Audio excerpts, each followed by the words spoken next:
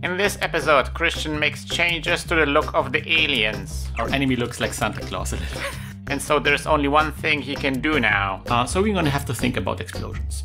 And so begins Things are happening. his quest for destruction. I think it's a monster energy drink that is speaking here right now.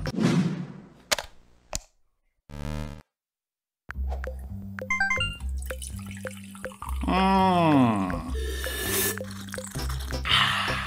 Hi everybody, uh, welcome to Lazy Devs Academy. This is Christian, and I uh, we are working on little shmup tutorial. This is episode 14, and our little shmup is proceeding well. Let me load this up. Let me look what's happening. Do we have a start screen now? We can shoot. We can rapid fire. And alas, when we hit uh, enemies, the enemies explode. When enemies hit us, we lose life. Perfect, perfect, perfect. Something I want to do today is I want to look in more into explosions. Uh, generally, this part is going to be like kind of like the fun part. This is the part where we're going to uh, focus on the thing that we call juiciness. Um, that's kind of like a term that's kind of being thrown around, you know, in game design circles. Juiciness, kind of like a very broad term describing, you know, the game feeling nice to play, feeling, you know, responsive and and well animated, you know, little attention to details and so forth. We can maybe later on dive a little bit deeper what that means. But for now, just you know, juiciness means like uh, I, something I want to focus on is like making um, working on little effects uh, that make um, the process of hitting the enemies uh, that makes it more fun and enjoyable. So you know, we're gonna look at some effects today. We're gonna play around with some effects uh, that create a more responsive game in general.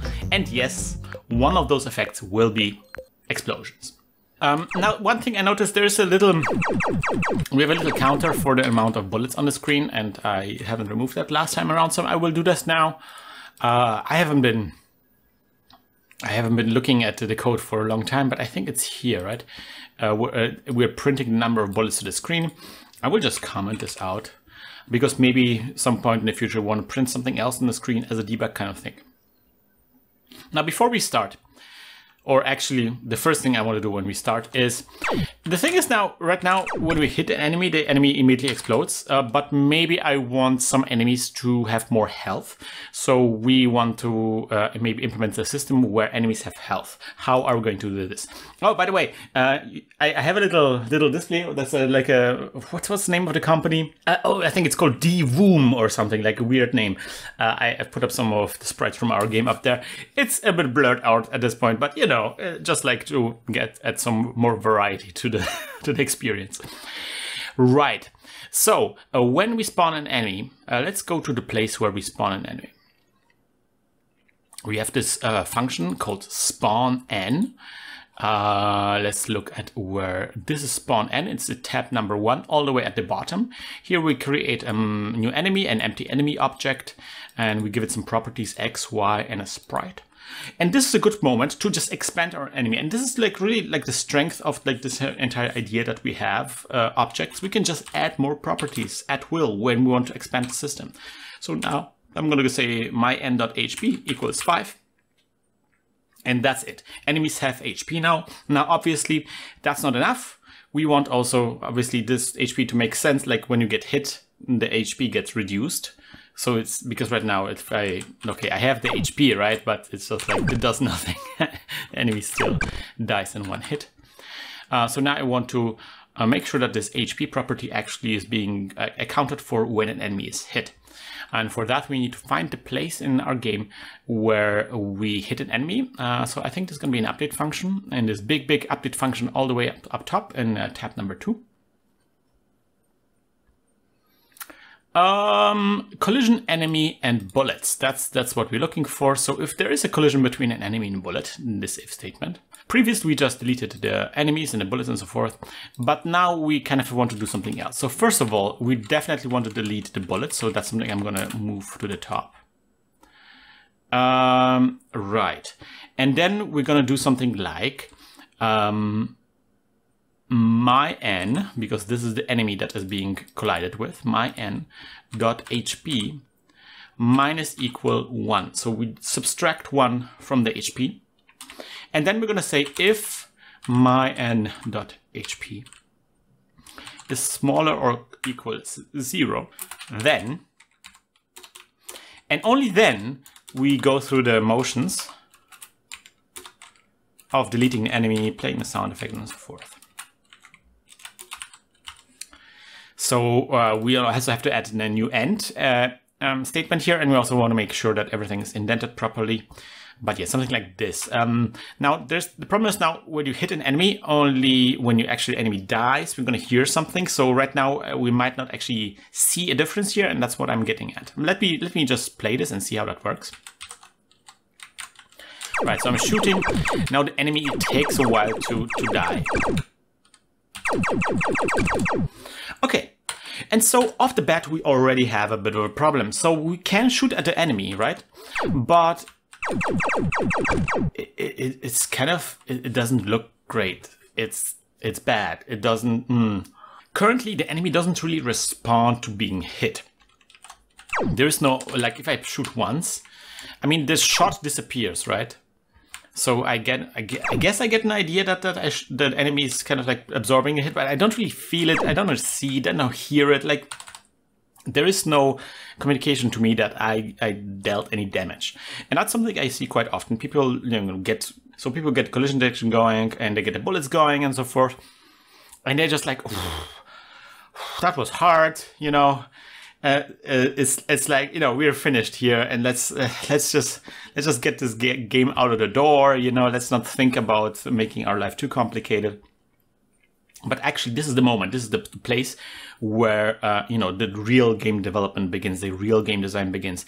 You need to have the stamina you need to have the uh, the willingness to to get your hands dirty because now the things are get really really fun so there's multiple things we can do to communicate to the player that, that there that there was a collision. Uh, one thing we could come up with is maybe like a hit sound that is not necessarily a dying.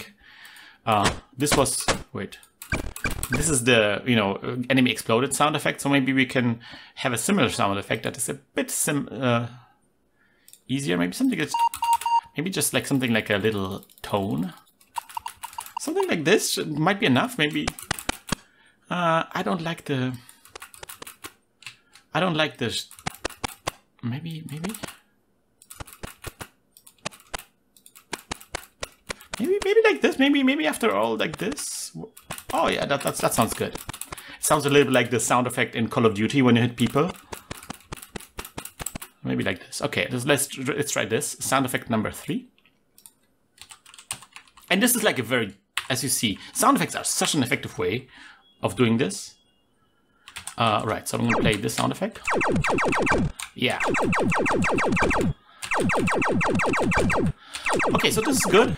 Really nice and unobtrusive little sound that kind of like communicates that, that um, damage is being dealt, and that's okay. Um, but I want to go further than that. I want to actually see a difference. Um, there's, again, there's so many different ways of doing this. Um, one thing could be, for example, to show a different sprite, to have like an enemy that reacts to being hit. Uh, really game good game that does that is Parodius. There's a lot of enemies in there that are just cartoon enemies, and they always have like really funny faces when it like get hit, like oh, you know. Uh, that's that's that's that's fun thing to do. Uh, I think something that we can pull off that is kind of really easy is just to make the enemy flash. So let's introduce a new property to spawning enemies. So this is we um, we are back in tab number one in the spawn n n function. And we're going to add a new property called myn.flash. And we're going to set it to zero. And so the idea is that we, whenever we want the enemy to flash, uh, we set the, this flash property, this flash variable, we're going to set this to a number, and that number will count down in every frame. So in every frame, let's say we want to make the enemy flash, be appear completely white for three frames, right? We're going to set uh, flash to three, and each frame that it appears completely white, we're going to count down this variable until it reaches zero.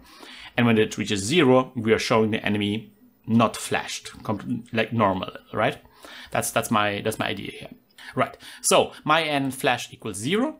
Uh, I'm gonna go in our update function, and here when we hit the enemy, my n dot flash equals.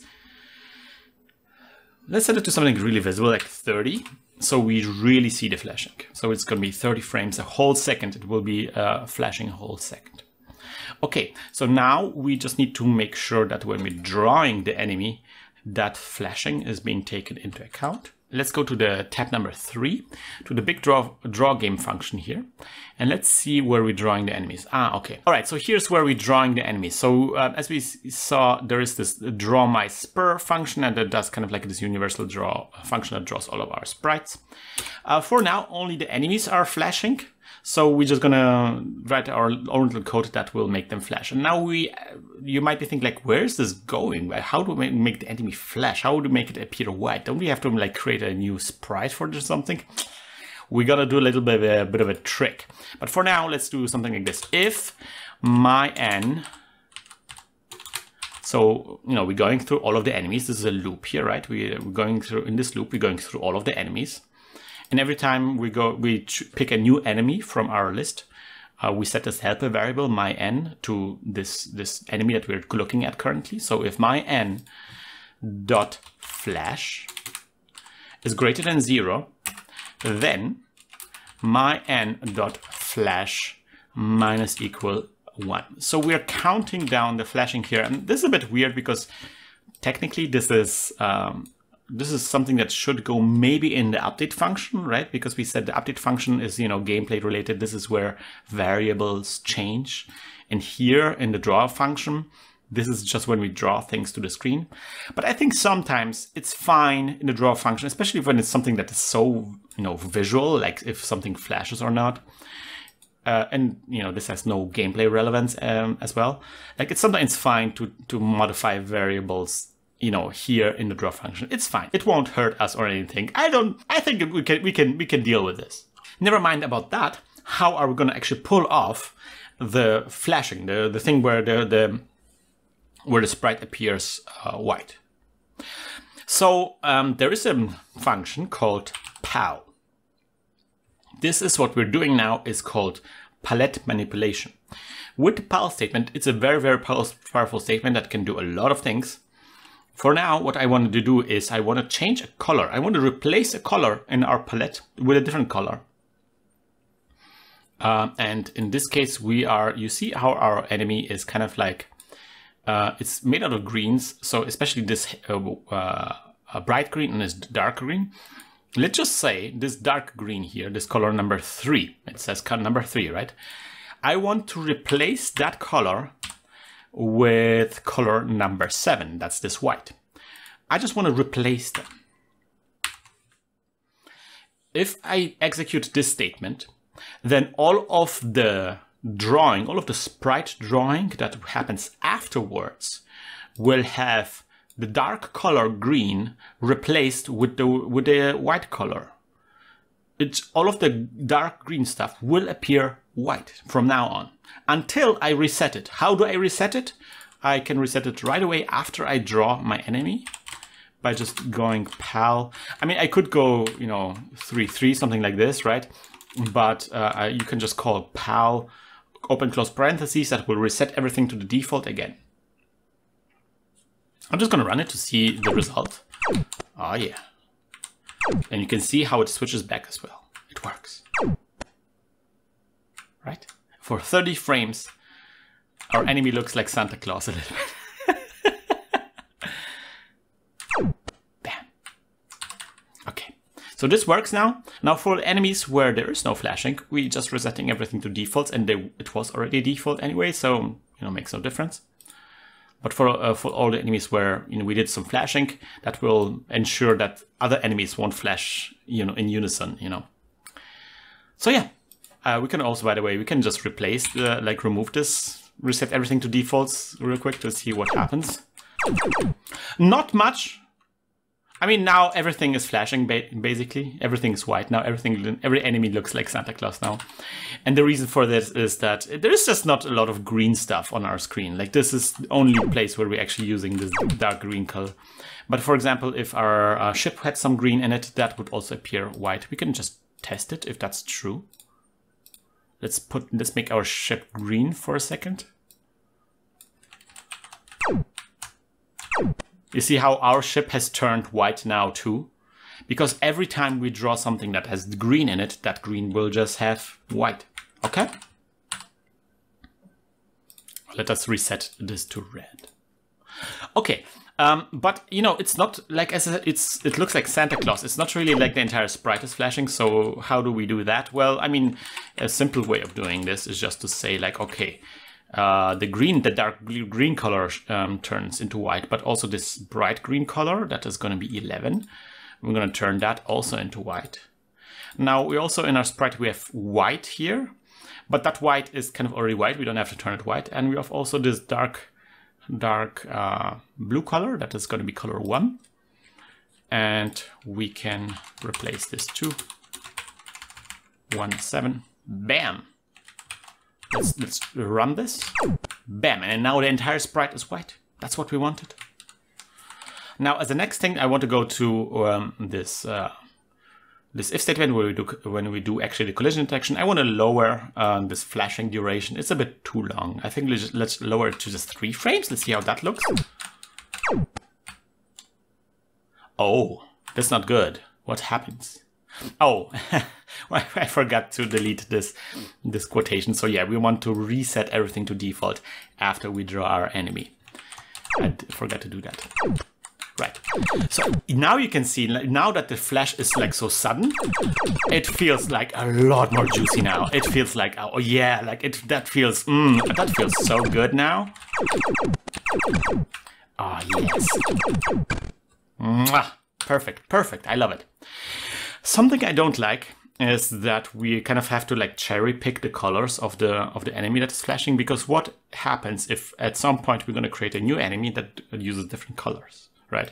How do we make it so that it doesn't really matter what colors we're using for the enemy, that all of them will get, uh, that, you know, doesn't matter what kind of sprite we're using, that the enemy will flash uh, either way. There's different ways of doing this, but a very simple way is just doing little for loop, for next loop, right? We're gonna go to for i equals uh, 1 to 15 do end and then inside, we're going to have a pal statement that goes basically I, the color I, and gets replaced with seven. So all of the colors, all of the colors are going to get replaced with, with white. All of the colors. We're starting with one and going all the way up to 15. Let's just check. Uh, I don't want the, the, black color to get replaced with 7. Currently, the way this is set, the black color is transparent anyway, so the, like it doesn't really even matter that much. Uh, but yeah, I want to start with the color number one, that is this dark blue color, and I want to go all the way up to 15, that is this color. That's why I'm starting at one and going to 15, right? One to 15, and then inside this for next loop, uh, indented, right? We have increased indentation here. Uh, we have the pal statement that basically says like, yeah, the I color gets replaced with seven. So we basically call this little pal statement 15 times and then uh, and then replace each color by one, one by one, with the white color. And I'm gonna save save this and see if this works. It works. Oh, I love it. Something you can tweak around uh, uh, is how long the flashing happens. You know, you can see what happens if we flash for 10 frames. Does that feel better? It's a little bit, a little bit laggy. It feels a bit laggy. What if it's just one frame?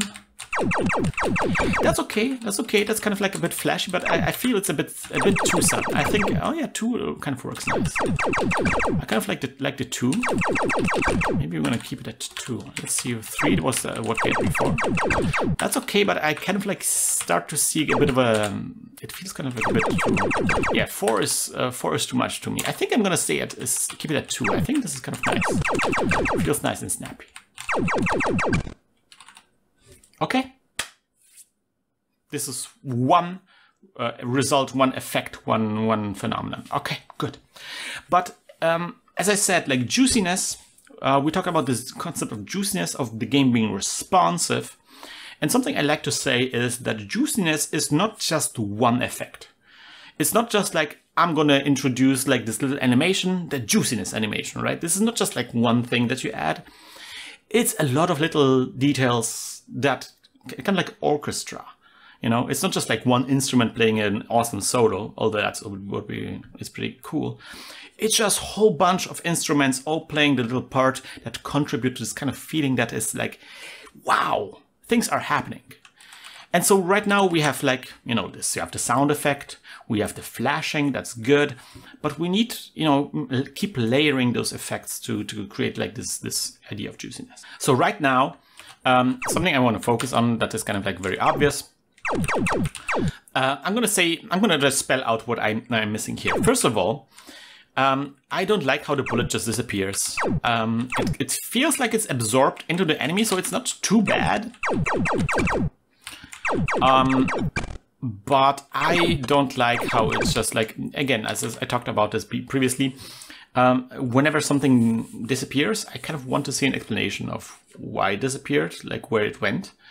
And the bullet is huge, and it just being absorbed into the enemy doesn't feel right. It feels like like you know something got lost there. Like it's kind of like feels like it blinks away. It would be nice to have like an impact effect. Uh, we're gonna think about how to do that maybe in the next episode. But I think the biggest thing that we want to work on right now is when an enemy disappears.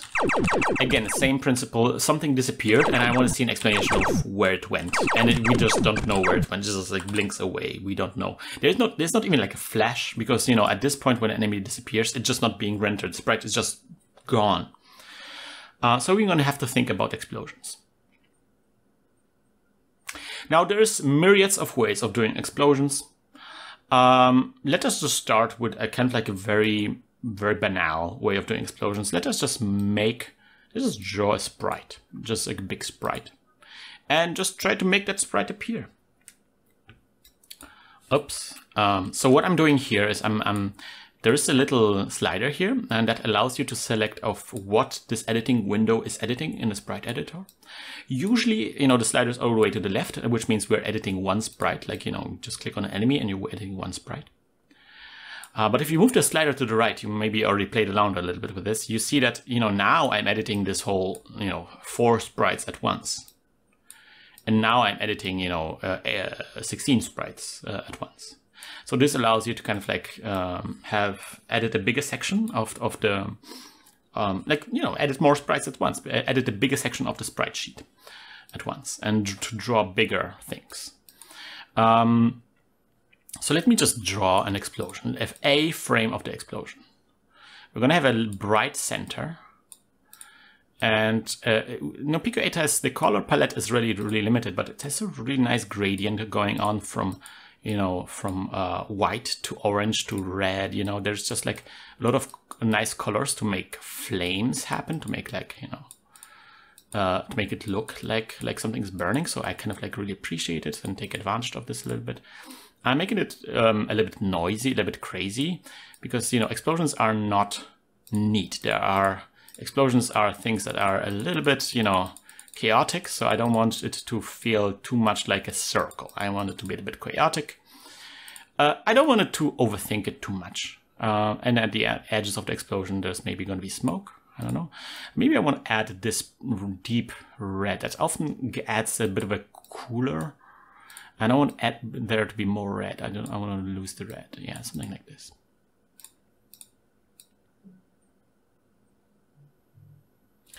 And you know, this is just like experimenting. I'm just like going through the experiment of what will this look like. I kind of have obviously an idea of what this will look like because I've already did it myself a lot of times. But just like, uh, this is how I would approach things if I had no idea what to do. I would just like be like, let's just draw a sprite, a huge explosion sprite, something like this, right?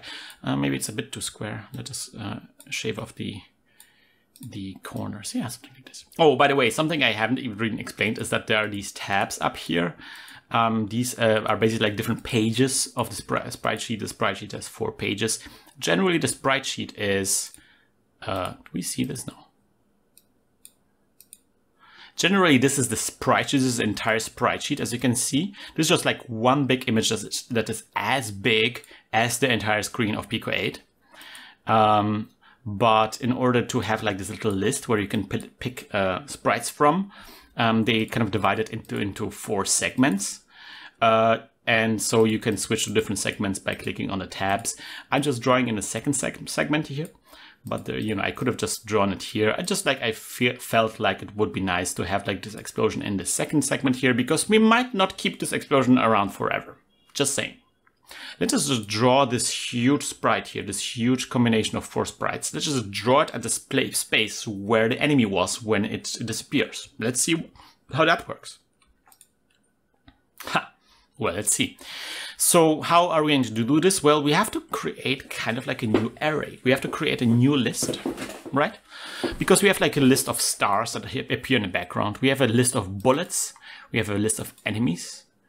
Now we have to have a list of explosions that are on the screen. Um, generally, you know, you have to, uh, you create like some kind of particle system for your game. Uh, this usually called particle system, where you know all sorts of doodads and little special effects are also being drawn on the screen next to the enemies, next to the things that are relevant for gameplay. So let's let's just call this explodes.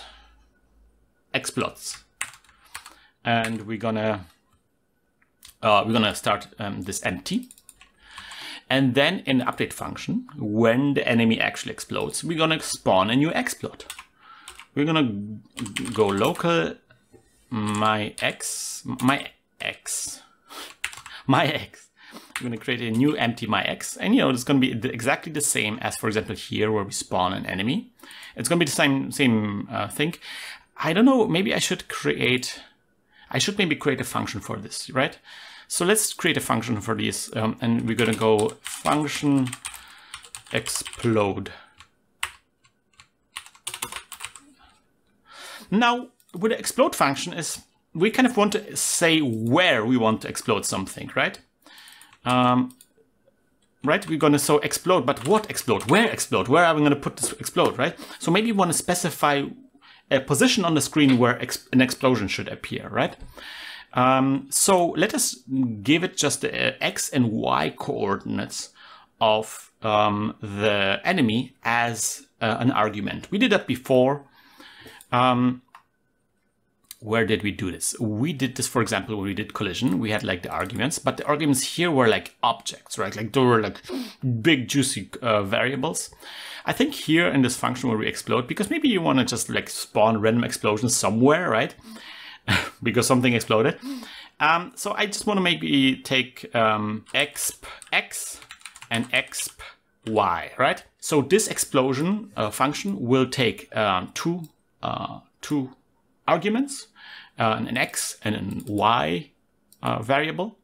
And here when we're exploding this, we're going to say uh, my n dot x and my n dot y like this. Now I created this little thing here. I'm going to cut this out.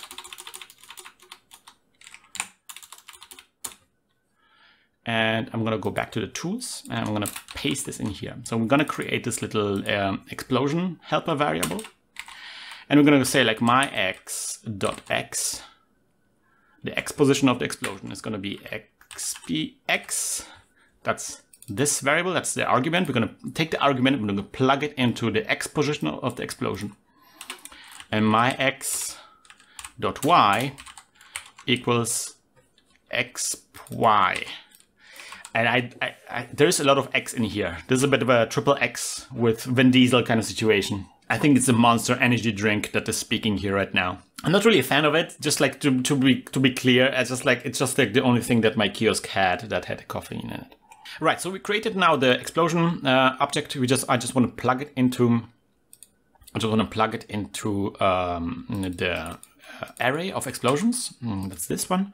So explodes um, add explodes my x.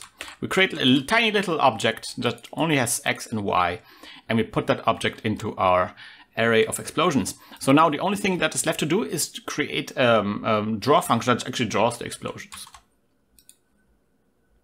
Now, I'm not exactly sure in which order to draw things. It feels like the explosion should be drawn behind everything. Yeah, so let us just draw it after the muzzle flash. And we're gonna do something like this. We're gonna go through all of the explosions in our explode array, right? So we're gonna do the same thing as we draw, do when we draw the bullets. For explodes, uh, no wait, for, for my x in all explodes. Now we cannot actually use um, this draw my SPR function um, for one a bit of an annoying reason. This is a big sprite. Like this is a sprite that consists of four sprites. And there is a way of drawing big sprites. I haven't talked about this, how this works, but I, there's a way and I want to show this off. So uh, you know the SPR statement, right? The SPR statement. Let's just assume that we wanted to draw the top left corner of this big, big, huge hunking explosion, right? This corner. That is sprite number 64. So I'm going to put down number 64 here. We want to draw, draw sprite 64. Now we're going to take the position, the x position from my x dot x, my x dot y. That's the position of the sprite. And now comes something new that we haven't talked about. You can add more arguments to the sprite statement. We haven't talked about this yet, but yeah, you can add now 2, comma 2. 2, 2 means that we're not just drawing a single sprite, but we're actually drawing, you know, uh, a, a, like a like a clump of sprites that is two sprites in width and two sprites in height. So this allows us to draw big sprites. Because, you know, otherwise I would have to draw, you know, each sector of these big explosions individually, individually like this, and then this, and then this, and then this. That would be like four sprite statements. This thing, this 2-2, allows us to draw all of these four sprites together in one chunk and this can be useful if you want to create, you know, sprites or enemies, ships, and so forth that go beyond uh, the regular eight uh, times eight sprite. So far, I've been sticking to like the little eight times eight sprites because this made our collision detection a lot easier. Um, but maybe we're going to break this out a little bit uh, later on when we're going to have a boss enemy. Let's going to see about that. For now, the explosion is huge. Uh, and so I'm going to draw two by two. By the way, I also want to mention, I haven't talked about this. Why is the explosion so huge? Um, the very important aspect of explosions that I, I see being done wrong all the time is that the explosion has to be bigger than the thing that explodes. It's a very simple rule that I feel like a lot of people making like action games don't follow. If something explodes, again, if something explodes, you know, it starts as the thing and then it explodes. Like you, you, you make this motion when you say blow your mind. Because if the explosion is smaller, basically the sprite disappears and then like a little explosion appears in its place. It doesn't feel like the thing explodes. In order for the thing to explode, the explosion has to cover the thing that disappears. Uh, it has to expand from the surface. You think of like, you know, Death Star, for example, in Star Wars, you know, you have like this ball and then you know things erupt from the surface of the ball. So it has to explosion has to by definition have to be bigger than the thing that explodes. It looks bad if it doesn't. Sorry for this little rant. Anyway so we're drawing this little and this this huge actually this huge explosion at the spot where the uh, where the enemy was. Let's see how that looks. Hmm. Okay, there's a lot of things that are wrong about this. First of all, the explosion is not quite where it's supposed to be. It feels like it's a bit offset. Uh, and also the explosion kind of is just stays there and it looks really static. It looks like, it doesn't look like an explosion. It looks like it just stays there, right?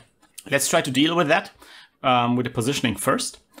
Um, so the problem is obviously the X position, the X and Y positions, as I already said, in top left corner of the of the sprite. Um, so um, that's where the X and Y position, that's where we put our explosion, right? But also we that's where we also start drawing this entire huge explosion, right? That's also the top left corner of this entire thing. So in order for this to kind of feel like it's erupting from the center, from the center of the sprite,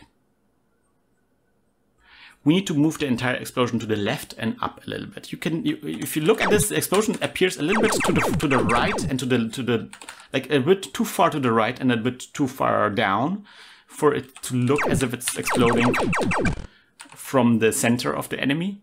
So I think we need to kind of correct for that and and just add a little, you know, like minus eight. Let's see. I'm, I'm not sure if it's minus eight. Let's try minus eight. I think we overcorrected. Let's go with minus 6. Mm, I think let's go minus 4 after all, maybe. Maybe minus 4. Yeah. Now the explosion at least feels centered. But now the problem I have is the explosion stays along around for too long, and you know, I kind of expected this already. So here, when we're exploding, I'm going to add a new property to our explosion. We're going to say my ex dot h. We're just going to say h. Is it? Should we call it h? Mm, maybe we should call it something like life. The life ticks down, and then when it's at zero, we remove the entire explosion. Let's just keep it around for 10 frames like this and then we are going in draw function and we're going to do kind of like the same thing that we did with a flash here, right? Where we're going to say we're going to go through all of the explosions. We're to draw the explosion and then we're going to go um, my x dot life minus equal one. We're going to reduce the life, the life expectancy of the of the explosion by one.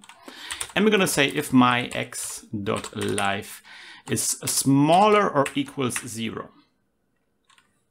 I'm always using smaller than equals. Um, the reason for that is like, I just want to, like, again, maybe we're going to tweak around this number or something. Maybe there's going to be some kind of way in which we draw below below zero. Well, if it's below below zero, then we definitely, you know, we want to we want to uh, remove the explosion.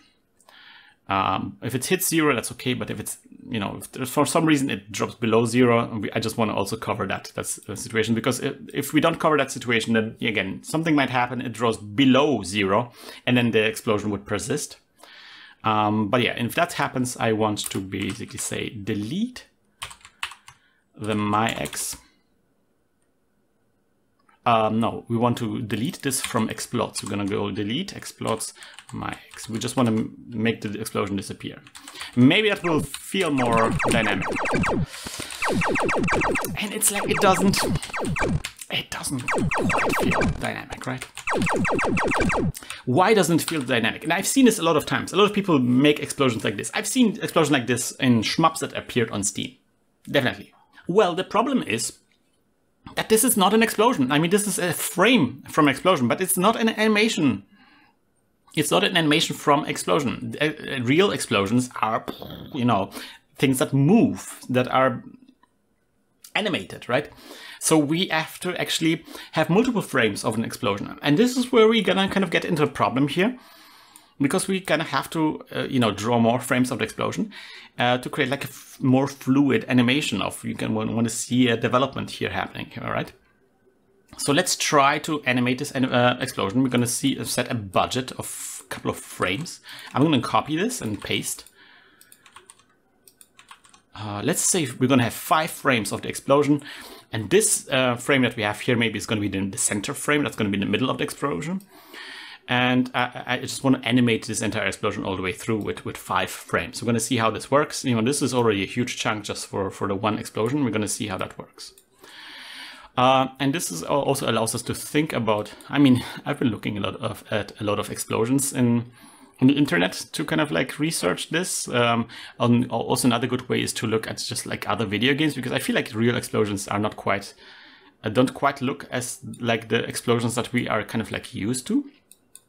I feel like when uh, when we think of explosions uh, as like you know uh, kind of like the kind of audience that grew up with you know with video games and, and Hollywood movies, I feel like when we think of explosions, we think of things that are you know like this crazy fireball effect, you know, that are more like you know combustions things and not necessarily how you know how real explode like if you look at explosions like from war footage or something like this or from like you know safe detonations like from mythbusters also like it's a good source for explosions you see that you know real explosions are just very sudden and there's a lot of smoke but not a lot of fire usually um, that's because like in, in Hollywood uh, movies, you usually use, um, you know, when they explode things, you, they usually add just a lot of fuel to the explosion to make it seem more, uh, to, to, to kind of like emphasize the, the fire, the hotness of it, and and less the the force that is happening with the explosion. And you know, this is where you get like you have to do some research yourself and find out you know what what's what looks good and don't, don't doesn't look good. I'm not I'm not gonna claim I'm like some kind of expert on this. Um, but yeah, usually you have like a white. You want to see something that is very white and blinding as as your first frame because you you know this is where the where the energy is getting released and that energy is like hot white. It usually when it is the camera that films this, it surprises the camera because like you know crazy white. Uh, uh, another good source to look at is like anime, like animated movies, especially Japanese animated movies, because there's like a lot of different techniques of how they solve explosions and how they convey this idea that something is bright. Uh, quite often, they, for example, they make the actual the entire background darker to make it like appear even brighter. There's different uh, effects that you can pull off, and it's you know it's going to be up to you what you want. And then I want to have like this initial ex expansion here, maybe. Uh, and I want to focus. Um, I, I want to focus on the color uh, as well. I want to go from like very very bright to, uh, over to very yellow. Like I, I don't want to. Um, initially, I, maybe I don't even want to show the red at all. I just want to see like uh, in the second frame. I maybe just want to see like huge uh, meatball of uh, of yellow and maybe a little bit orange. You know, I just want to make seem it really bright. Something like this.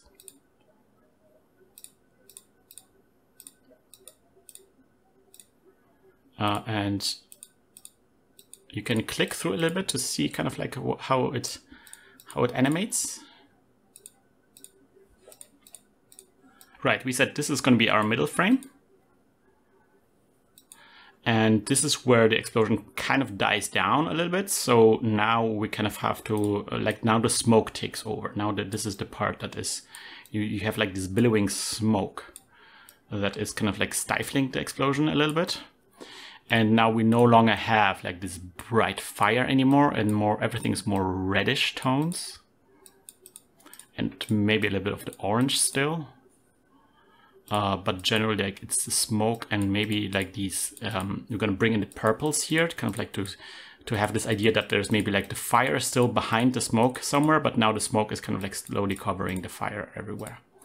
And I want to also um, evolve the edges of the explosion. So like from one frame to another you kind of actually see some movement. So it because right now if you see that some pixels don't move at all and if something's not moving at the explosion it looks really really wrong so you kind of want to make sure that every pixel was at least touched once. Uh, I also want to make sure that it's not, because right now we're drawing a square, so it's very easy to draw a square explosion. Uh, I want to make sure that the corners are kind of like staying free, so we kind of have like a, uh, a roundish explosion. I want to make sure that uh, when I click between the different frames, that there's movement everywhere, and whenever something is static, I want to do some change there. Yeah, here's something static.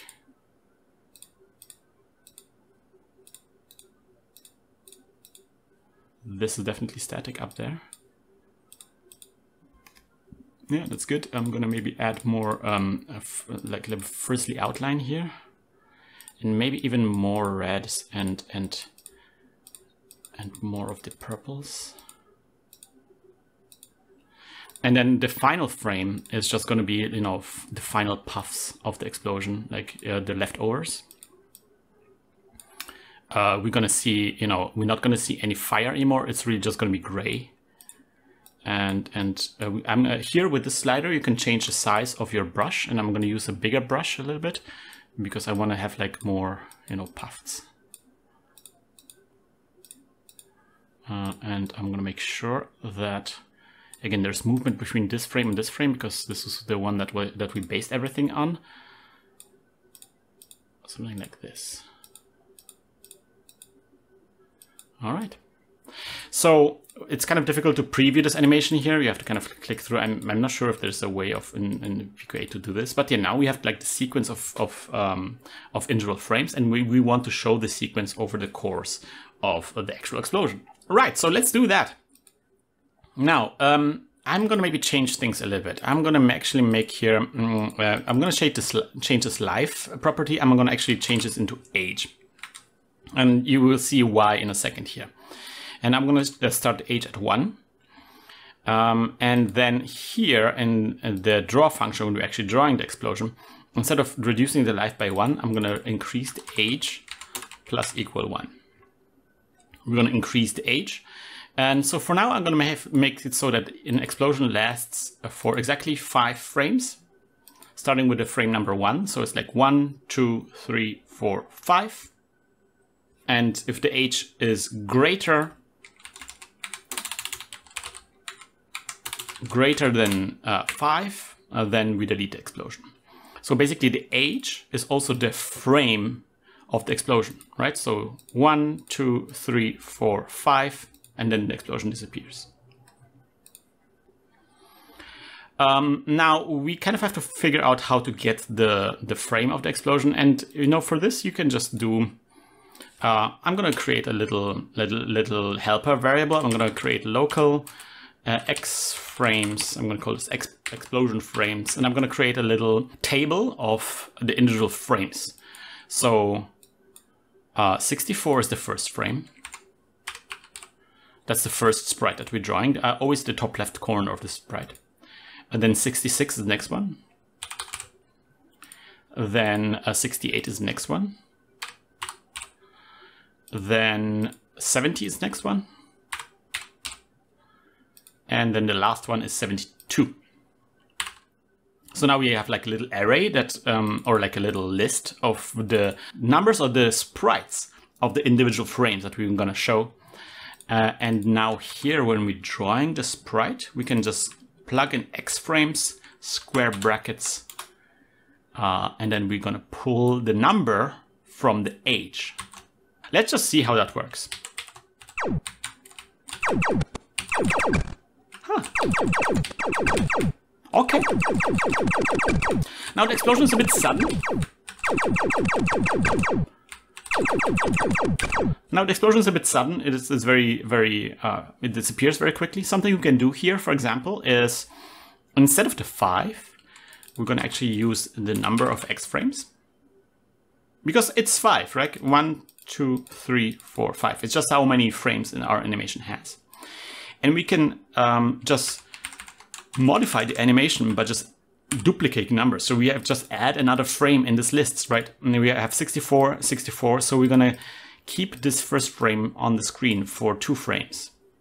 That's why we have 64, 64. So the, the first two entries of the animation are gonna be uh, this sprite here. So it's basically corresponding to this big, big, big frame. Let's see how that works. Yeah, that's a little better. Uh, and maybe we can duplicate, you know, the, the final frame uh, also a little bit. And maybe this frame, I just maybe just we slow down the entire animation. Okay.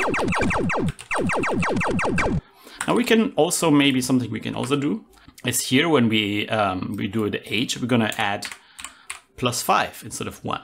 Uh, plus 0 0.5 instead of 1. So um, the, the, explosion is aging slowly. Mm, that doesn't quite work. Mm.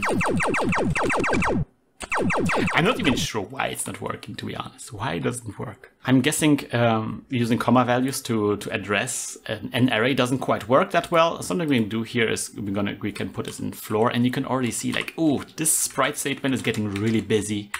There's like, you know, array and then square brackets and then floor, the floor function that strips off the, the um, times behind things, things behind the comma value. Then object and that object's property, you know, it's like, we're putting a lot of things in the sprite and in the sprite um, call, and it might be a good idea to maybe, you know, spell this out a little bit um, to make it more better readable. Uh, I'm gonna just just see if this works.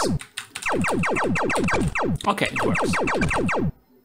So maybe now we're gonna actually uh, spread this apart a little bit so we can see what's happening. So we're gonna do a little helper variable. I'm gonna call this SPR uh, or my sprite.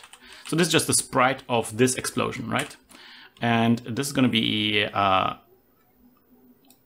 uh, we're going to get we're gonna get the age, and we're gonna go my SPR equals um, floor my SPR. We're gonna remove the, the stuff behind the comma. And then we're gonna go um, my SPR equals X frames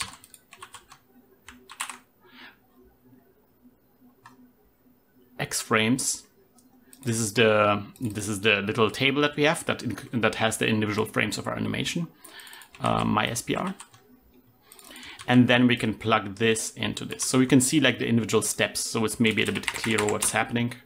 First we're getting the age, then we're flooring it, and then we're using this uh, to address um, you know individual entries in our uh, in our table. And then the result is the thing that we're going to plug into the sprite function. So you can see this looks, this is more,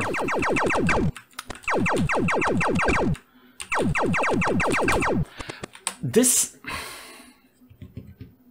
this uh, is more permanent. It's not quite as sudden, but it looks choppy. That's the problem. We slowed down the animation, but now because, you know, certain frames are being held, on the screen for a long time, it, it looks kind of less fluent. It looks kind of like... Uh, I'm gonna br uh, bring up the speed again. So this is more sudden, but it looks more fluent. And this is kind of generally a problem that you have with animations. Whenever you want to have a fluent, uh, kind of like really nice and fluent animation, you want to have more frames. And that means you have to draw more, like we have to spend more, like we want to add more frames to this animation, we have to spend more time drawing those frames. And also, it means that we are using a lot more space for of our sprite sheet um, just for this animation. And what if we want to have a second animation, right? Because, you know, all the animations now will also look the same. Um, this is not an ideal situation. This is not an ideal situation. And this is why on the next episode, I want to actually address maybe the situation and I want to maybe create uh, explosions procedurally. This is the point where we're moving on to the doggy zone. That's right, the doggy zone. So I have three challenges for today. One of the things that we talked about today is how to um, uh, do, where is it? Here, how to do palette swapping. So a cool way of experimenting with this is, for example, when we spawn enemies right here, you this from other games, you know, a very easy and cheap way of getting like more variation with your enemies is to have color swapped, like palette swapped enemies. So instead of like the, the just a green enemy, you have a blue enemy and a you know orange enemy and so forth. So I want you to try to pull off the color swapping. So different, um, like depending on just differently colored enemies appear on the screen using this pal statement and not by creating any more any more uh, sprites. That's quest number one, challenge number one. Challenge number two, kind of like very straightforward, is um, just applying this uh, this flashing that we had here, this flashing uh, code that we have here. When we draw the enemies. I want to apply this to when the player gets hit. So when the player ship gets hit, I want that ship to flash. And finally, I we talked about, again, we're going to come to that later on, but we talked about how um, it's kind of sad when a bullet um, uh, when a bullet hits the enemy that it kind of disappears. Um, it would be nice if there was a small explosion happening that that would, that kind of shows the bullet uh, dissipating. So add that in any kind of way uh, you you can think of. You could do kind of like an animation, like a little circle going out, like uh, we did with the muzzle flash, um, but it would kind of procedurally generate it. Or you could try your hand on uh, on an explosion like this uh, that we had here, uh, but maybe with a smaller scale, just like to have like this effect of bullets dissipating after they hit an enemy. Okay? This is gonna be it. Sorry for this longer episode this time around. This is a, a big topic, obviously. Uh, yeah, this is the point where I also wanted to quickly point out the Ko-fi and the beautiful people at Ko-fi who made this episode possible. That's right, this video series has been made possible through the generous support of my viewers on Ko-fi. Thank you so much. And if you aren't a supporter yet, check out ko-fi.com slash lazydevs. That's right, ladies and gentlemen. Thank you so much for watching. And so, in the next episode, as I already said, we're gonna dig into procedural explosions, and I think this is gonna be really fun. We're gonna get some uh, particles going, and and you know see how particles work and so forth. This is the part where you know I'm really having a lot of fun. That's why these episodes are getting a bit longer, but I hope this is worth it. See you guys next time around. Bye bye.